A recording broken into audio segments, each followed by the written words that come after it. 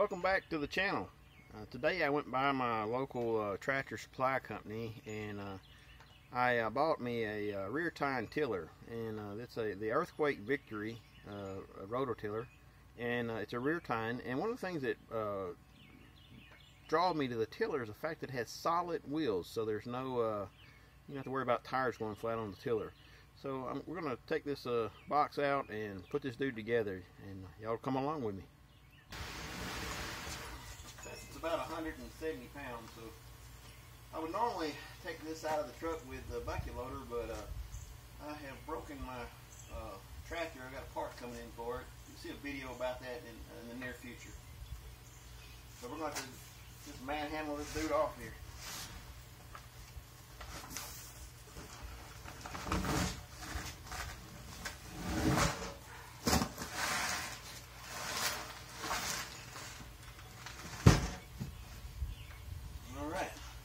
on the ground. Alright, see if we can uh, open this dude up, find the instructions. What draws me to it was the fact that the tires are solid and you don't ever have to worry about the tires going bad. I could see these lasting, you know, years and years and years.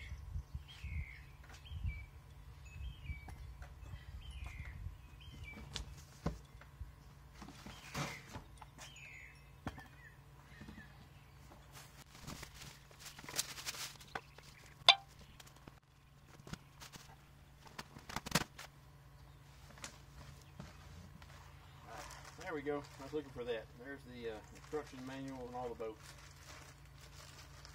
Alright, I'm going to go ahead and get this thing out of the uh, box and get it uh, ready to assemble and then I'll bring you back guys back in when I get it out of the box. Alright, the box is tore open so that I can get to it a little bit better. And, and I'm going to go ahead and kind of deviate from the instructions and the fact I'm going to put the handlebar on first so I have a little bit better control uh, of, uh, you know, moving it around.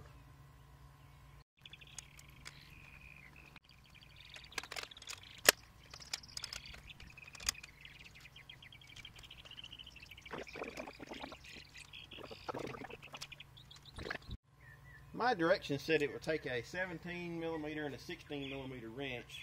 However, uh, after looking it over, mine takes a 17 millimeter for the nut, and then it takes a 13 millimeter for the bolt.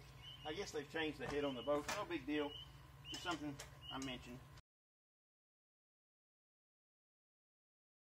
When you're tightening these bolts down here on the on the handles, just keep in mind that uh, you know, this is a square tube, and if you crank down on it, you can crush the tube, and then you'll never be able to get it tight. So you can't over tighten it on these things. Just keep that in mind.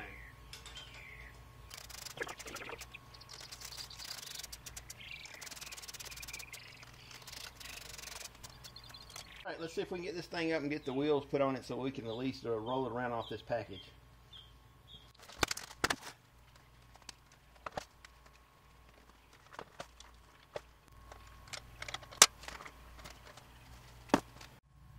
Alright, each has one of these pins here.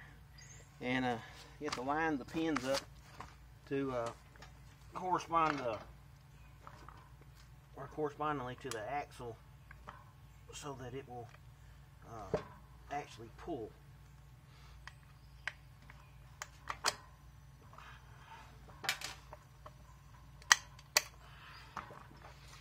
Like such. These linch pins can go two different positions. Right now I have them through the wheel and through the axle, which makes them, uh, you know, drive. It'll actually pull. Then you have the, uh, the other option, which is to push the wheel further back and just push the pin through the axle and it lets the wheel free roll but without the, the wheel coming off.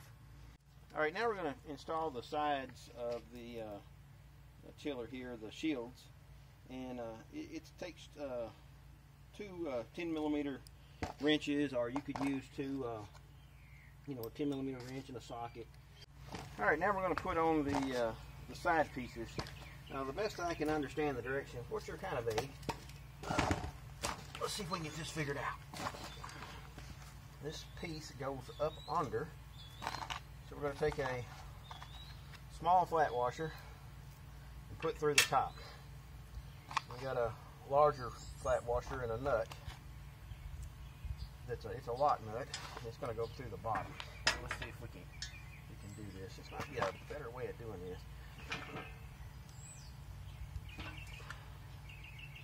Yeah. I believe there's a better way of doing this. Alright, I believe we can do this from the bottom.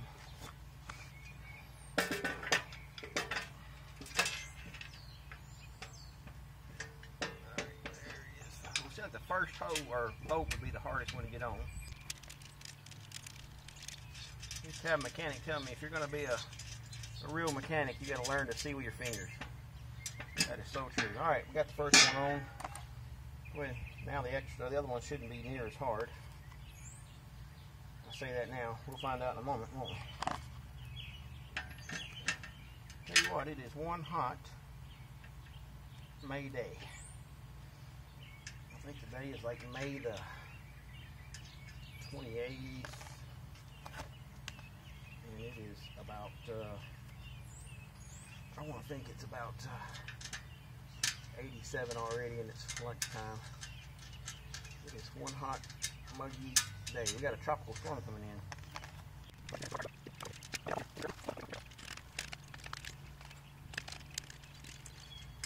Alright, I got all three of those started that's basically what it'll be. I'll tighten these all down and get back with you. Just a warning uh, to let you know that the you know the engine does not come with oil. The transmission has oil in it. I have checked the transmission and it is it meets the requirements. Uh, this thing uh, uses some, some, pretty specific oil in the transmission, and uh, make sure you don't use the GL5 uh, you know double zero grease like Mystik grease uh, or GL6. It takes GL4 and it makes a note that if you use anything higher than GL4 that it will soften the bronze components inside the transmission. So make sure you use the right uh, the right oil in the back end. And uh, now we're going to go ahead and fill the engine up with oil and uh, get ready to put some gas in this thing and see if it'll run. Alright this little engine comes with a, a Kohler engine on it. Uh, I'm not disappointed with the Kohler. They're pretty good engines. Uh, I've had good luck with them it comes with a supposedly the right amount of oil in this uh, bottle to, uh, I think it said, uh, oh, I just read it and I can't remember now, like 0.6 something quarts of oil, and uh, it uses, uh, well, for our for our climate, we, it says it can use 10W30 or SAE 30. Uh, this particular oil that come with is an SAE 30 if I'm not, yeah, no, this is 10W30. So uh, I'll probably use this until it breaks in and then move back over to a, uh, a synthetic oil. Alright, it says 0.63 uh, uh, quarts or, you know, 0.6 liters. According to the manual, it says this should be just about correct. So we'll pour this in real slow and, and then check it periodically. Sitting out here in the sun in this black container, this oil is like water.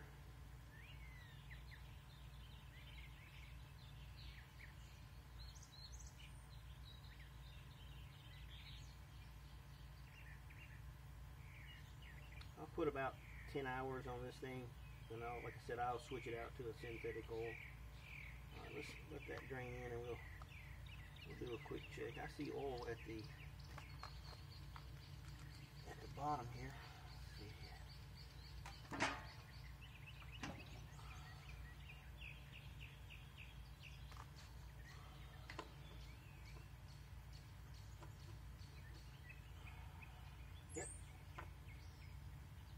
The dipstick towards the top of the hash marks. So uh, plenty of oil. Like I said, I'm going to change it out.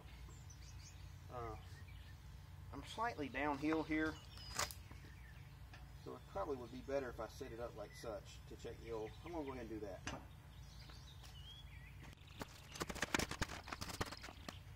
Yeah, that's much more level. Let's take a look at it now, see what it looks like. Oh yeah, it'll take some more oil. It'll take the rest of it.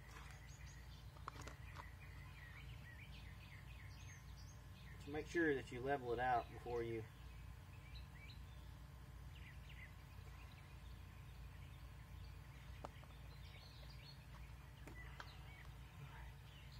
Well, that looks pretty good. I can see it in there. But we'll go ahead and check it.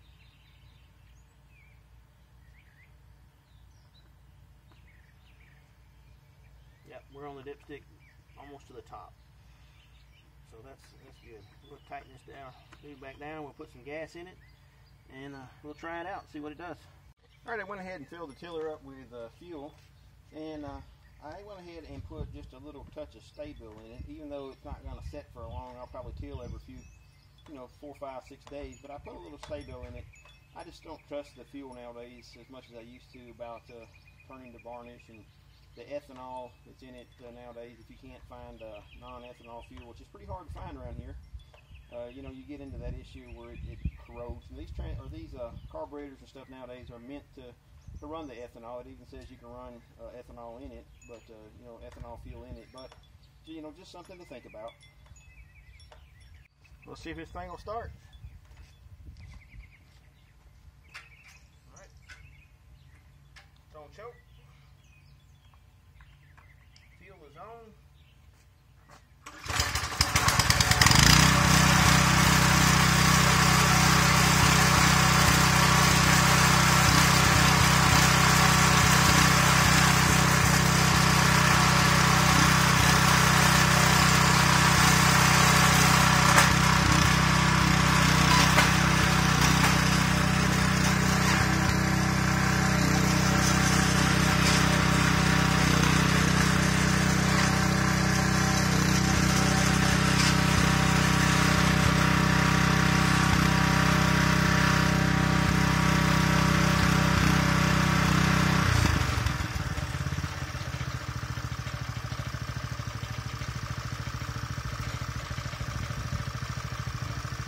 I want to let it idle for a little bit out here. Looks like it works. Uh, but right now I'm going to let it run for a little bit and just, you know, kind of break in just a, a on its own at low idle. And then I'll come back out and take it to the garden. Well, I'm kind of embarrassed here. I uh, tilled my, uh, I plowed my corn about uh, 12 or 13 days ago. And this is how it looks 12 or 13 days. I went on vacation, so I wasn't here to take care of my garden. And in just that short amount of time, this grass went nuts. So this ground is well fertilized. The corn looks good, but if I don't get this grass taken care of, it's going to uh, overtake my corn and take a moisture out of the take the moisture out. So we're going to give this tiller a, a, a good uh, a good try today. See what you think.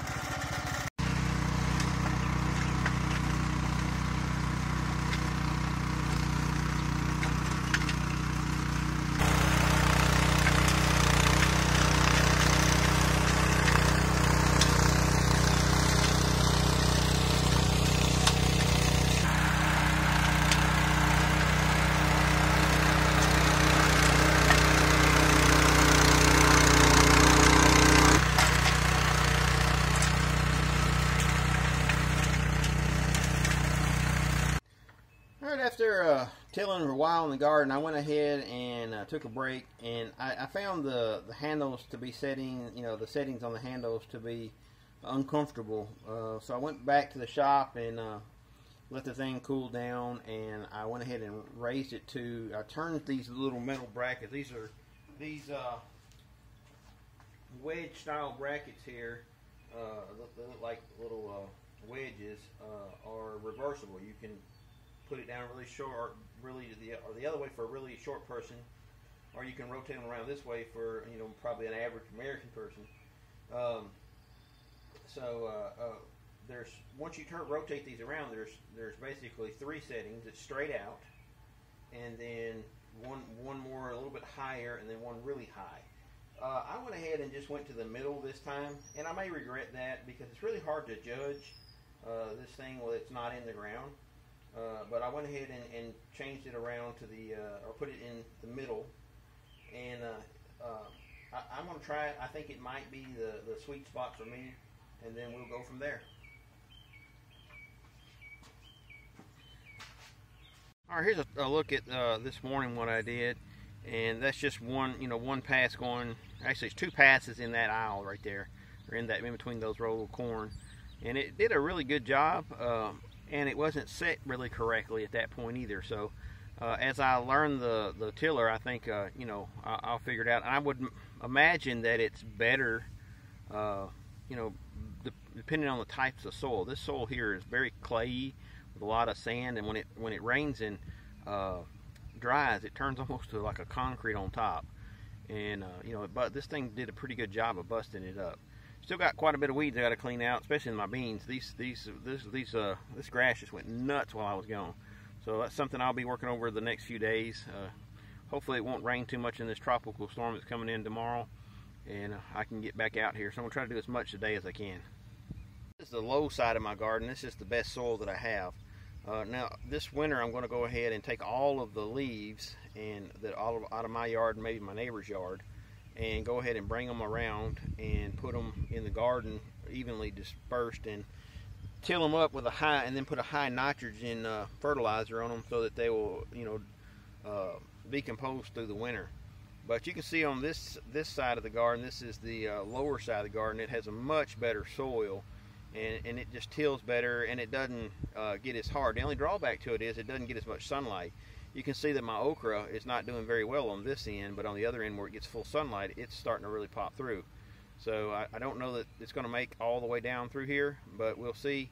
But if you know anything about okra, that that okra um, is on the other end will make once it starts making. You have to cut it every three days. And just for me and my wife, that'll be uh, uh, that'll be plenty. I wouldn't mind having an extra, you know, a, a little bit extra, you know, to give away.